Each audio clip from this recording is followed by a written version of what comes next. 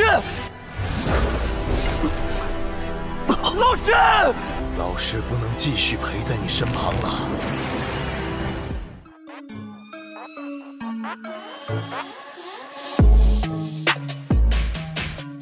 Halo para pecinta Battle Through the Heavens dimanapun kalian berada Gimana nih kabar para tetua? Udah siap kancut dengan perjalanan dari Mang Oyan?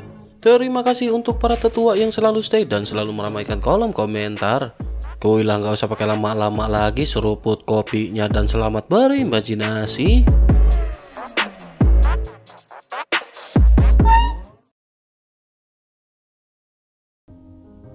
Cerita masih berkancut dengan Xiaoyan yang pada saat ini berada di dalam badai super.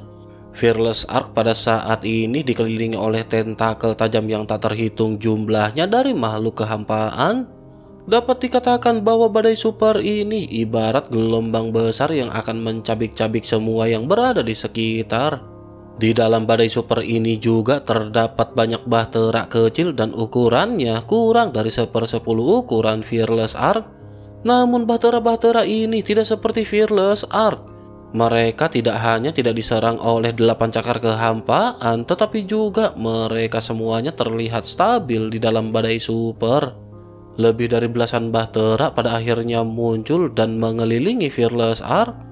Mereka tetap berada di sekitar Fearless Ark seolah-olah sedang menunggu Fearless Ark hancur. Sementara itu Fearless Ark jika dilihat dari kejauhan sosoknya dikelilingi oleh delapan cakar kehampaan. Delapan cakar kehampaan ini dengan panik menghantam perisai pelindung dari Fearless Ark. Namun pertahanan dari Fearless Ark ini benar-benar sangat menakutkan karena meskipun makhluk ini menghabiskan semua kekuatannya, tampaknya akan sangat mustahil bagi mereka untuk bisa menembus perlindungan Fearless Ark. Kehancuran Fearless Ark sepertinya hanya akan terjadi jika saja Xiaoyan benar-benar telah kehabisan pil origin ki untuk mengendalikan Bahtera. Pada akhirnya dengan cara ini Fearless Ark terjatuh ke dalam situasi fasid jangka panjang. Mereka tidak mampu mengendalikan arahnya tetapi seiring dengan berjalannya waktu Arah dari Bahtera ini terus berubah dan ajaibnya arah Bahtera ini sesuai dengan arah yang ditunjukkan oleh guntur hitam. Waktu pun terus berlalu hingga tanpa terasa 20 tahun pada saat ini telah terlewati. 20 tahun yang sangat lama ini benar-benar mengalir dengan sia-sia. Selama periode waktu ini, Ding Yue juga pada dasarnya tidak pernah beristri jahat. Sosoknya selalu waspada karena takut dengan keadaan darurat yang akan terjadi. Dalam 20 tahun terakhir juga, delapan cakar kehampaan pada saat ini mengelilingi Bahtera Fearless. Mereka tampak menyerang Bahtera Fearless, tetapi sesungguhnya mereka juga merupakan pelindung dari Fearless Ark. Bersamaan dengan hal tersebut pada saat ini, pada akhirnya Ding Yue segera melihat bahwa di kompas langit berbintang, riak badai berangsur-angsur menghilang dan Ding Yue pada saat ini menghela nafas lega. Lautan kehampaan juga pada saat ini perlahan-lahan menjadi semakin tenang dan hal ini berarti bahwa mereka telah lolos dari badai super. Badai kehampaan yang menakutkan ini benar-benar berlalu dengan tenang dengan cara yang tidak dapat untuk dijelaskan. Ketika badai mereda, delapan cakar kehampaan ini juga pada akhirnya menyerah menyerang Fearless Ark. Mereka segera mengikuti badai kehampaan dan pergi meninggalkan Fearless Ark. Namun meskipun begitu, di dalam kesunyian ini masih ada belasan bahtera yang mengelilingi Fearless Ark. Posisi dari Fearless Ark pada saat ini benar-benar tidak diketahui. Namun jika dilihat dari kejauhan pada saat ini, dapat terlihat ada berbagai macam puing-puing di sekitarnya. Puing-puing ini bersumber dari bahtera-bahtera yang telah hancur. Terlebih lagi ada juga banyak bangkai binatang buas yang sangat besar. Tampaknya spesies dari makhluk kehampaan ini adalah mereka yang tidak bisa terlepas dari kehancuran badai super. Sementara itu di antara banyak bahtera yang pada saat ini mengelilingi Fearless Ark, salah satu bahtera yang merupakan pemimpin pada saat ini sedikit mendekat. Pemimpin di antara kelompok ini seketika berkata bahwa tidak ada aura di dalam bahtera.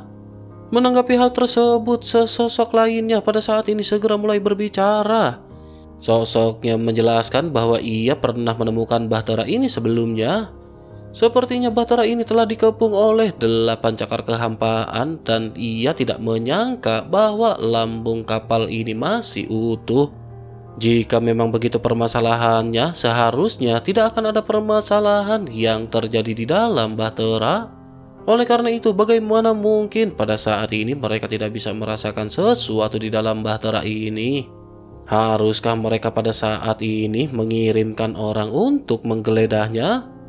Menanggapi hal tersebut, sosok sebelumnya pada akhirnya berkata bahwa bahan dari bahtera ini juga tidak biasa.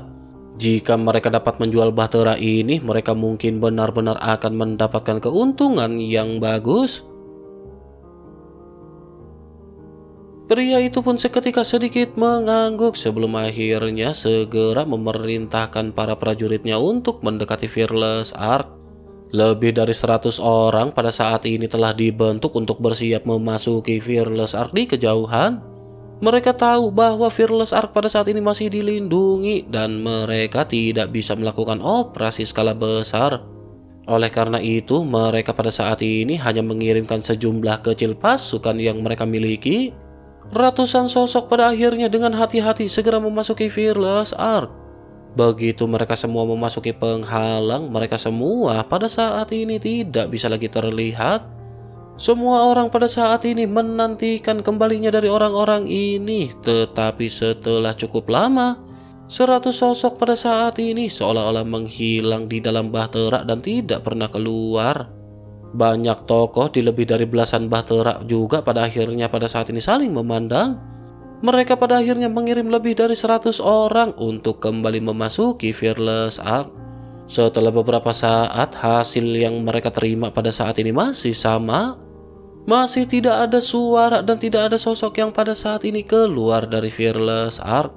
Sosok dari pemimpin ini pun segera berkata bahwa ada yang mencurigakan dari bahtera ini.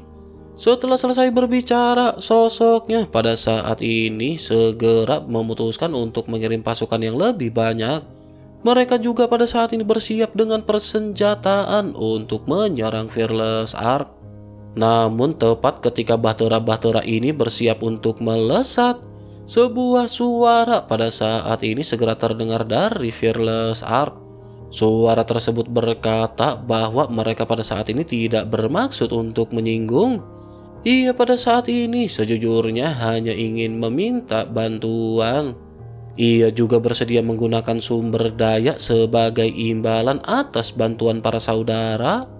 Bersamaan dengan suara yang terdengar pada saat ini perlindungan dari Bahtera Fearless juga terbuka penuh. 200 sosok yang masuk sebelumnya juga pada saat ini dapat terlihat oleh kelompok masing-masing.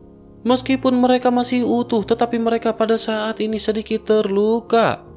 Melihat hal ini, pemimpin dari kelompok tersebut pun seketika mengerutkan kening.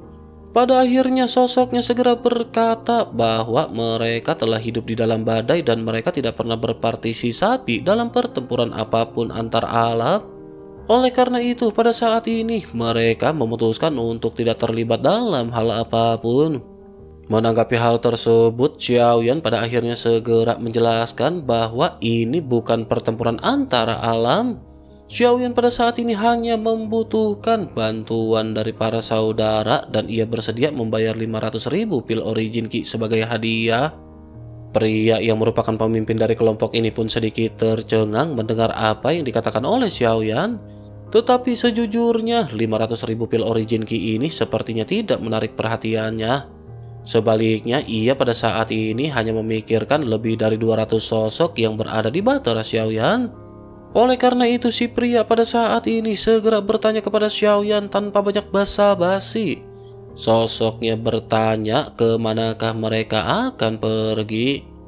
Menanggapi hal tersebut, Xiaoyan pada saat ini menggelengkan kelapanya dan berkata bahwa sejujurnya ia tidak tahu persisnya tetapi seharusnya apa yang mereka tuju pada saat ini berada di tengah badai.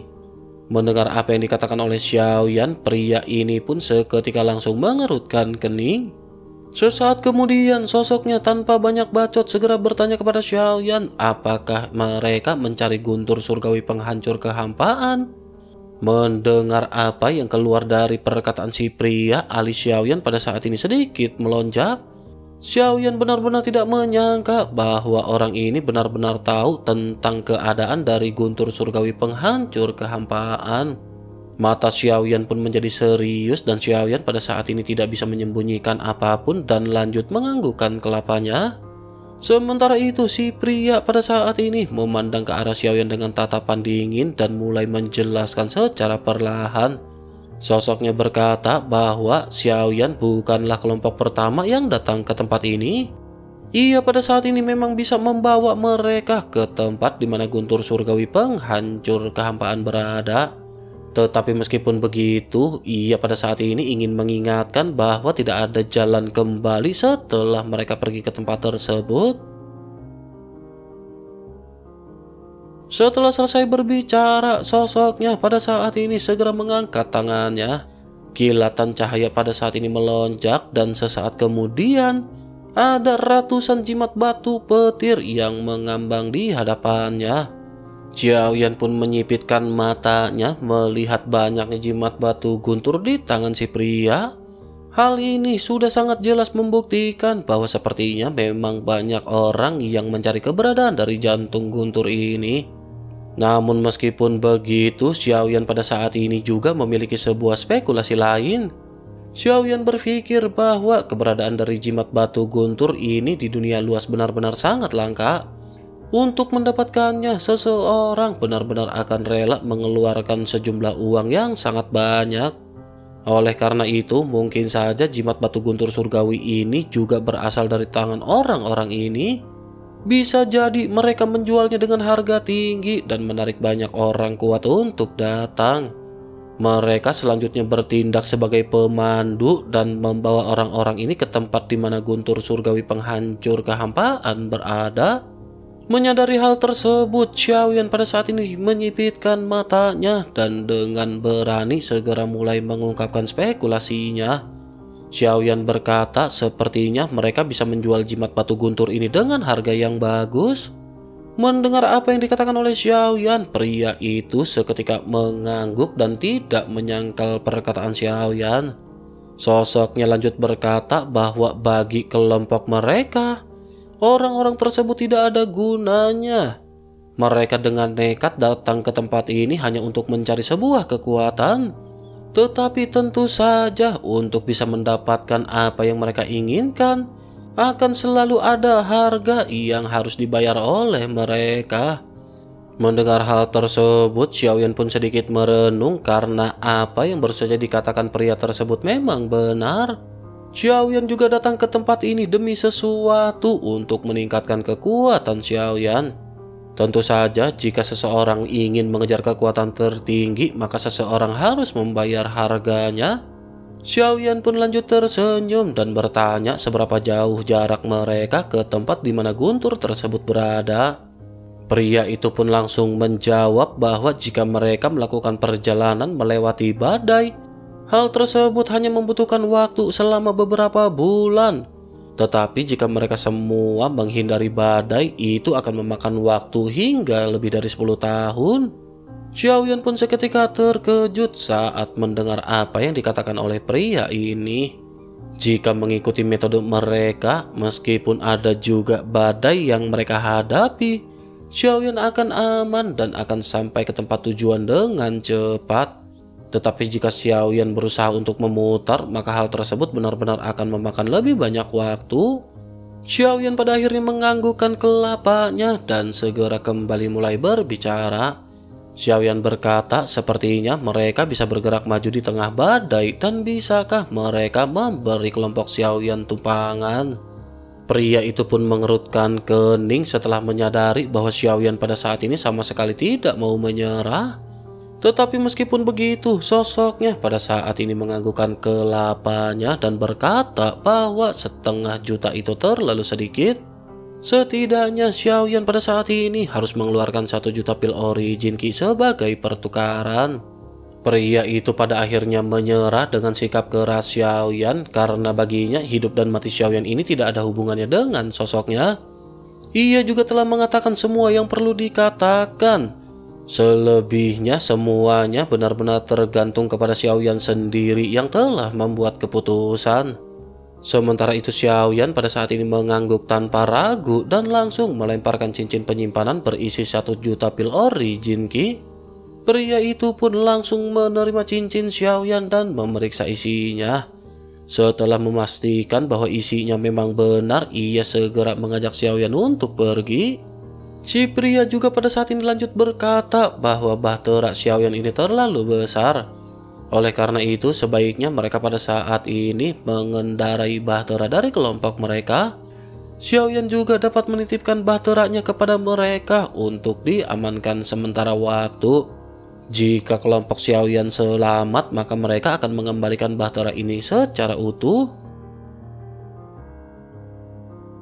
Mendengar hal tersebut, Xiaoyan pada saat ini segera menolak dengan sopan dan berkata bahwa itu tidak perlu. Saat berikutnya, Ding Yue yang menyadari perkataan Xiaoyan segera memasukkan bahtera ini ke dalam botol. Bahtera Fearless yang sangat besar pada akhirnya menghilang begitu saja dan muncul di dalam botol kristal transparan. Ding Yue segera memasukkan botol tersebut ke dalam cincin penyimpanan dan apa yang dilakukan oleh Ding Yue ini membuat pemimpin tersebut terkejut. Mata pria itu pada saat ini berbinar sebelum akhirnya sosoknya tanpa sadar bergumam bahwa ini adalah teknologi Styx kuno. Sesaat kemudian si pria segera menekan perasaannya dan mengajak Xiaoyan untuk segera pergi. Pada akhirnya lebih dari belasan bahtera segera mulai bergerak sesuai dengan perintah. Xiaoyan pada saat ini berada di atas bahtera terdepan dan Xiaoyan bisa melihat bahwa mereka semua benar-benar terlihat terorganisir. Mereka pada saat ini terlihat tersebar dengan posisi yang cukup luas. Mereka berhati-hati satu sama lain dan begitu sesuatu terjadi pada salah satu bahtera, rangkaian penyelamatan akan segera dapat dilakukan dengan cepat. Bersamaan dengan Xiaoyan yang melihat sekeliling, pria itu pada saat ini seketika kembali berbicara kepada Xiaoyan. Sosoknya berkata bahwa Xiaoyan beruntung telah menemukan delapan cakar kehampaan. Jika saja Xiaoyan menghabisi semua makhluk tersebut, maka Xiaoyan akan benar-benar sulit untuk bisa keluar dari badai super sebelumnya. Mendengar hal tersebut, Xiaoyan pada saat ini hanya menganggukkan kelapanya dan menyadari bahwa apa yang dialami oleh Xiaoyan ternyata benar-benar diperhatikan oleh orang-orang ini. Namun ketika mengingat badai sebelumnya, Xiaoyan pada saat ini kembali sangat tertarik dengan metode apa yang mereka lakukan hingga bisa berhasil stabil di dalam badai. Xiaoyan pada saat ini juga belum merasakan adanya guncangan dan bertanya apakah ada badai super di tempat ini. Pria itu pun segera melirik ke arah Xiaoyan dan berkata bahwa mereka pada saat ini sedang berada di tengah badai. Xiaoyan pun seketika terkejut dan segera menoleh menuju ke arah Ding Yue. Ding Yue yang memegang kompas bintang di tangannya juga pada saat ini segera mengangguk sambil tersenyum masam. Xiaoyan pada saat ini terkejut dan tanpa sadar bergumam bahwa ini benar-benar sangat stabil. Mendengar apa yang dikatakan oleh Xiaoyan, pria itu segera berkata bahwa latihanlah yang pada akhirnya membuat sesuatu bisa menjadi sempurna. Xiaoyan pun menganggukkan kelapanya dan Xiaoyan pada saat ini kembali melihat ke arah sekeliling. Bahtera milik mereka tidaklah besar dan setidaknya hanya bisa menampung paling banyak 100 orang. Selain itu ada juga lebih dari satu orang yang mengemudikan bahtera dengan adanya lima kemudi. Dengan kata lain, ada lima orang yang mengemudikan bahtera pada saat yang bersamaan. Mereka tampaknya menganalisis kekuatan badai setiap saat. Dengan begitu, mereka akan dapat mengontrol lambung kapal secara akurat dan berlayar dengan lancar. Xiaoyan pun menghela nafas sebelum akhirnya Xiaoyan pada saat ini segera kembali berbincang-bincang kepada pemimpin kelompok ini. Xiaoyan tanpa basa-basi segera bertanya seberapa banyakkah informasi yang diketahui oleh saudara mengenai jantung guntur ini. Setelah selesai berbicara, Xiaoyan pada saat ini segera mengeluarkan teh khusus dari benua Dodi dan mengajak pria tersebut minum-minum santai. Pria itu pun mencium aroma teh dan mengangkat alisnya. Si pria juga pada saat ini tidak menolak teh yang disodorkan oleh Xiaoyan dan situasi di antara mereka pada saat ini semakin mencair. Pria itu pada akhirnya mulai memberikan beberapa informasi kepada Xiaoyan dan berkata bahwa tempat tersebut disebut dengan Broken Star Realm yang terdiri dari beberapa alam yang rusak. Tempat yang memiliki nama alam bintang kehancuran ini terdiri dari banyak jiwa kematian di dalamnya. Tidak ada makhluk hidup di sana dan alasan dari hal tersebut dikabarkan karena guntur surgawi penghancur kehampaan. Konon dikatakan bahwa guntur tersebut merupakan salah satu dari asal-usul dunia.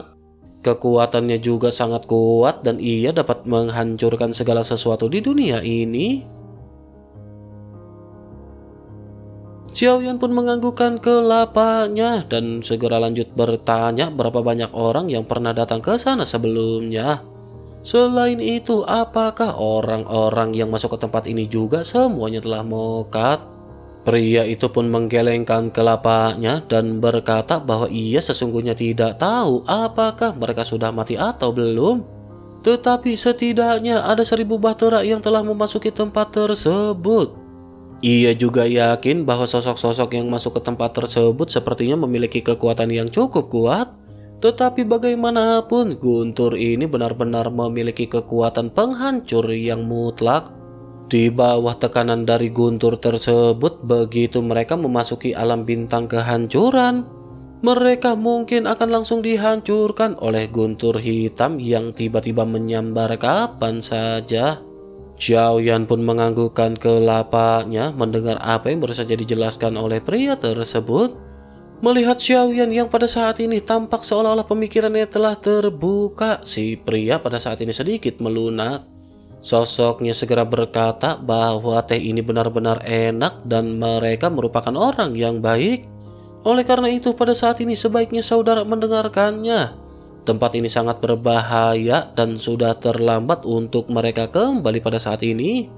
Mengejar kekuasaan memang merupakan hal yang baik, tetapi jika mereka kehilangan nyawa mereka, bukankah semuanya akan menjadi hancur dan sia-sia? Mendengar si pria yang pada saat ini masih membujuk Xiaoyan untuk kembali, Xiaoyan sedikit tersenyum. Xiaoyan segera mengucapkan terima kasih atas perhatian dari si pria. Xiaoyan lanjut mengungkapkan tekadnya dan berkata bahwa Xiaoyan telah menghadapi banyak bahaya sejak Xiaoyan mulai berlatih.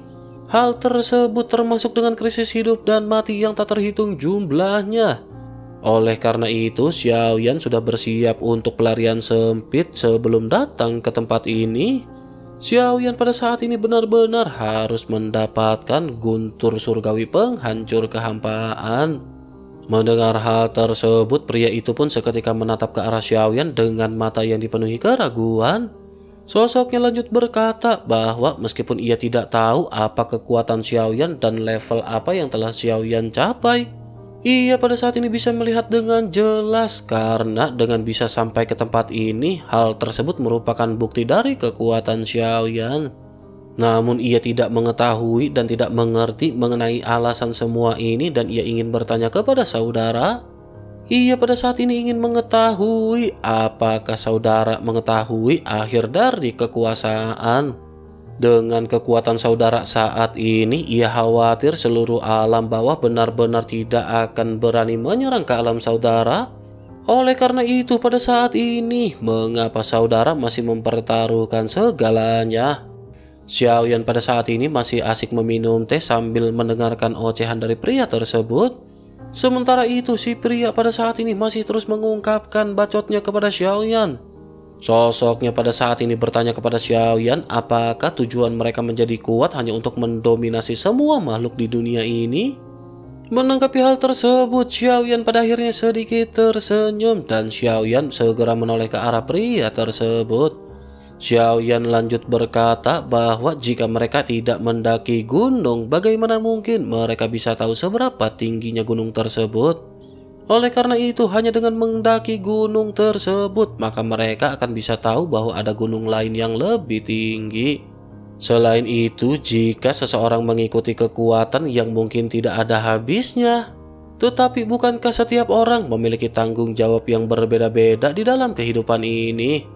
Terlebih lagi ketika mereka telah mengambil langkah, bukankah mereka telah ditakdirkan untuk tidak dapat melihat ke belakang atau berhenti? Xiaoyan pada saat ini berpikir tampaknya orang-orang dari setiap alam benar-benar memiliki pandangan yang berbeda-beda. Tentu saja perbedaan kehidupan dari masing-masing alam akan mempengaruhi pola pikir seseorang.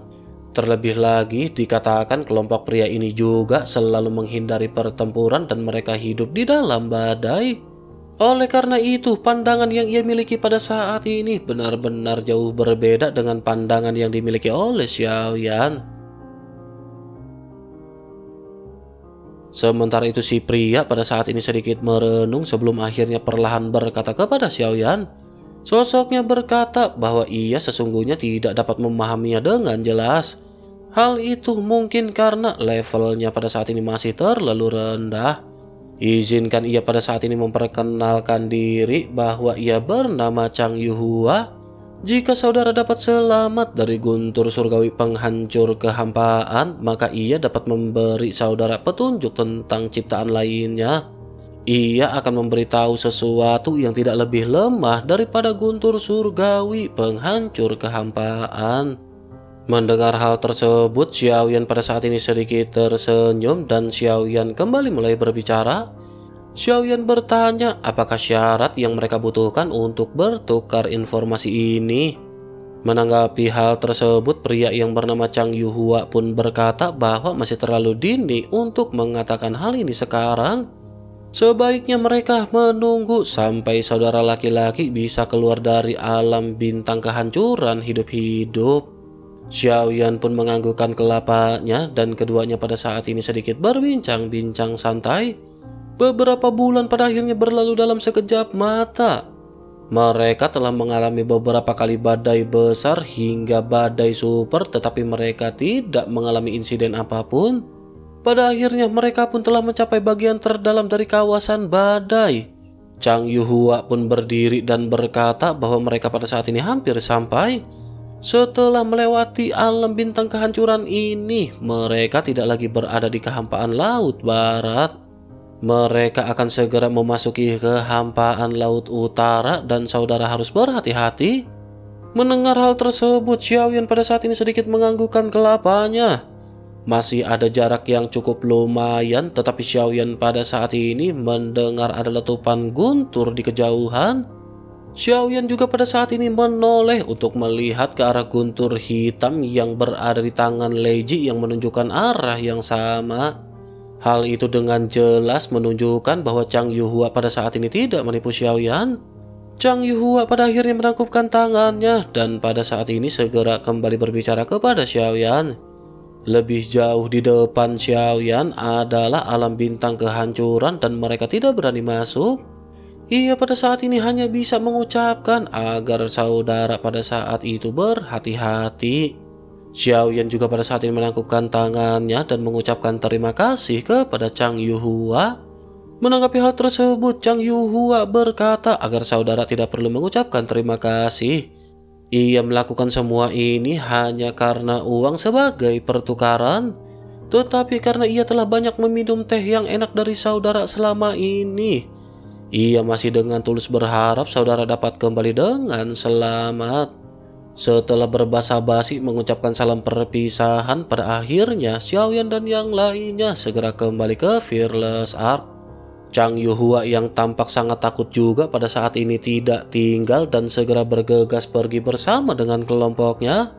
Sementara itu mata Xiaoyan pada saat ini sedikit menyipit ketika Xiaoyan perlahan melihat alam bintang kehancuran. Ini tampak bukan seperti sebuah ruang tetapi ruang yang saling terkait antara bintang-bintang yang rusak. Susunan dari banyak alam ini membuat ruang yang sangat aneh. Fearless Ark pada akhirnya segera berlayar dan setelah mendekati alam bintang kehancuran, suara gemuruh pada saat ini semakin jelas dan guntur hitam seketika menyambar langsung ke arah Fearless Ark. Begitu guntur hitam ini langsung membombardir perlindungan Fearless Ark, perlindungan itu juga seketika langsung dihancurkan. Kekuatan guntur yang tersisa juga pada saat ini masih terus menyapu Fearless Ark. Semua orang pada saat ini seketika terkejut dan dalam sekejap jiwa semua orang pada saat ini gemetar. Xiaoyan pada akhirnya berteriak kepada Ding Yue agar ia menggunakan kecepatan tercepat untuk segera masuk. Ding Yue tanpa ragu-ragu segera bergegas mengikuti instruksi Xiaoyan dan mereka segera melesat. Fearless Ark berubah menjadi gumpalan asap dan segera bergegas menuju ke alam bintang kehancuran.